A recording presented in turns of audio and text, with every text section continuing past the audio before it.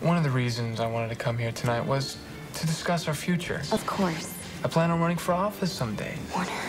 I think we should break up. What? Oh.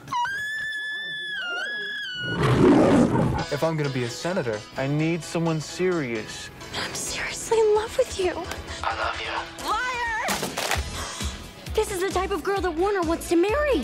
A law student. Going to Harvard is the only way I'm gonna get the love of my life back. For my admissions essay, Action. I'm gonna tell all of you why I'm gonna make an amazing lawyer. I feel comfortable using legal jargon in everyday life. I object.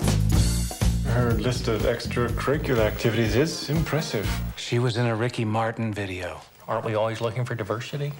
Welcome to Harvard. Don't be scared. Everyone will love you. Elle? Uh, I'm sorry, are you here to see me? I go here. You got into Harvard Law? What, like it's hard?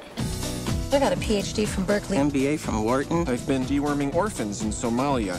Two weeks ago, I saw Cameron Diaz at Fred Segal, and I talked her out of buying this truly heinous Angora sweater. Malibu Barbie lives. I've come to join your study group. Our group is full. Oh, is this like an RSVP thing? No, it's like a smart people thing. I give her two more weeks. What is this? We're betting to see how much longer you're gonna last. You're not smart enough, sweetie. I'll show you how valuable Elle Woods can be. MGM Pictures presents Do you have a resume?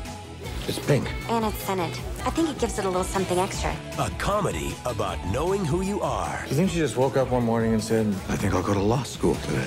and showing what you've got. We're defending Brooke Windham. You can buy her exercise tips on infomercials.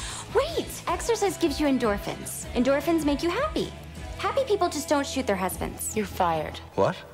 I have new representation. Reese Witherspoon, Do you remember when we spent those four amazing hours in the hot tub after winter formal? This is so much better than that! Legally Blonde, Oh, look how cute! There's like a judge and everything! Love forever!